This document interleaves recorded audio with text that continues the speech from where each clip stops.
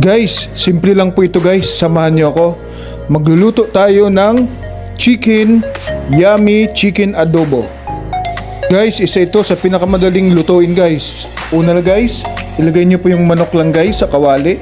Ilagay na po natin yung ah, bawang. Paghalu-haluin lang natin guys.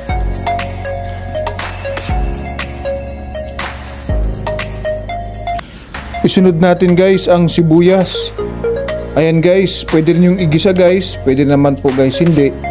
Kasi ma-absorb naman po guys ng ating toyo at magmamantika rin po siya sa sarili niyang mantika itong ating ah, chicken. Lagay na natin guys ang toyo at ang pamintang buo. Ayan guys, inilagay na po natin ang toyo.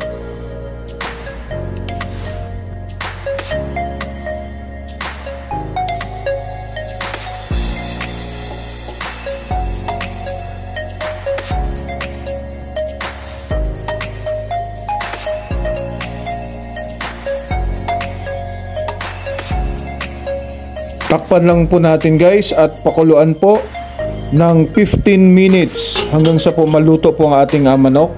Ayan guys. Ayan guys, after 15 minutes sa pagpapakulo po ng mga sinangkotsa po natin. Paghaluin lang po natin guys para po maluto po lahat ng manok. At magiging malambot po ito guys.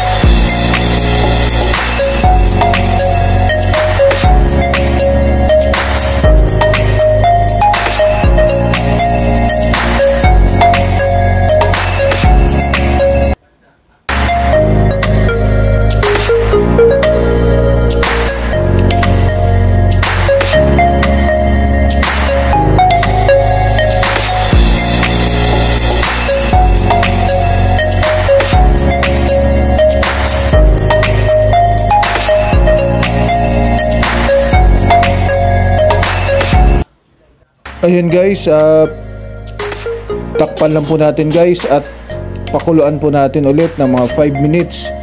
Ilagay na po natin ulit guys ang ating bilibs o yung dahon ng laurel.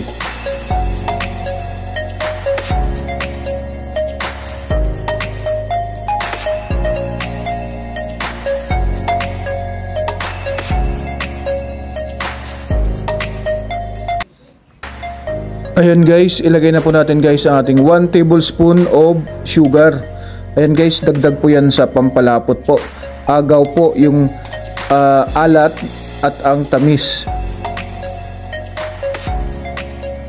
Guys, ilagay na po natin guys ang suka.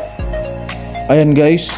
Tapos wag muna natin guys tatakpan ng mga 2 minutes. After 2 minutes guys, pwede na po nating takpan.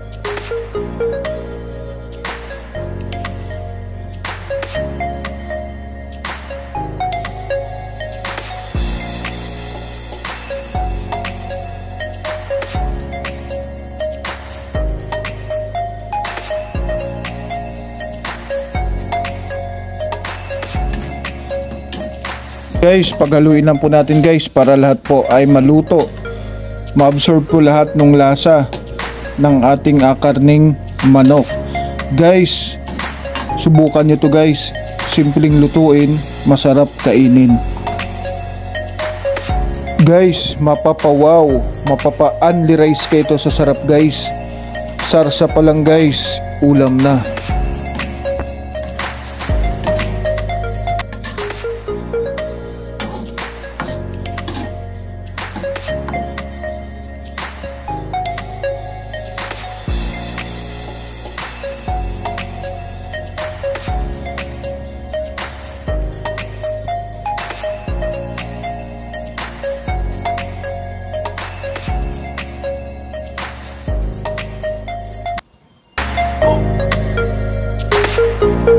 Wow!